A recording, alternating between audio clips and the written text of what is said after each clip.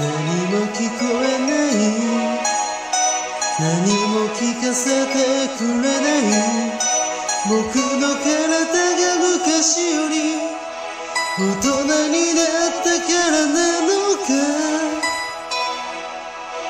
ベッドに置いていた初めて買った黒いラジオいくつものメロディーがいくつもの時代を作った。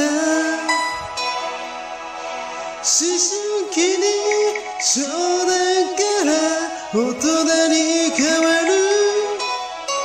道を探していた。